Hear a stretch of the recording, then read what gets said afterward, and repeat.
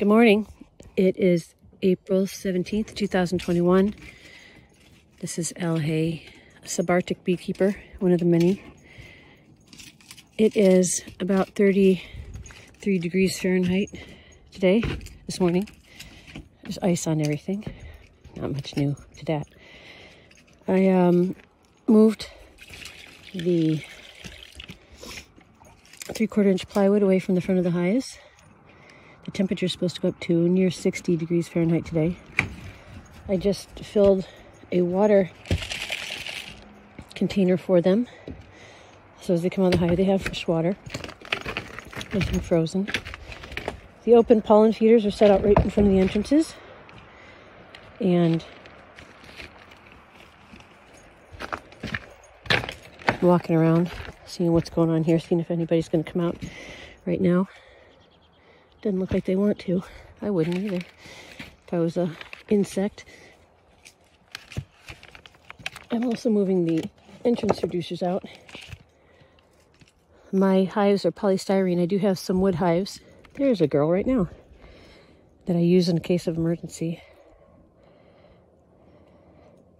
So I have some wood hive reducers and some hive reducers that came with the hives. Just had a girl come out of hive number one, as soon as I move the entrance reducer out of the way, it's always a good sign. And the ladies have open pollen in front of them. They have water, fresh water. They have some sugar cake in the hive. They have some one-to-one ratio sugar to water sugar syrup. I added some citric acid to it and some essential oils, lemongrass and spearmint specifically. As you can hear, the crunch, we've got about three feet of snow still. I expect that'll mostly be gone in the next few days. The temperatures are supposed to get up to 60 for today and tomorrow, and then 50 degrees Fahrenheit for the rest of the week. Sun's blazing. Not a cloud in the sky. It's gorgeous here. I need to move the empty frames and the frames with drawn comb and leftover pollen and bee bread from the greenhouse into the bee barn as the summer comes in, which will be in the next couple months.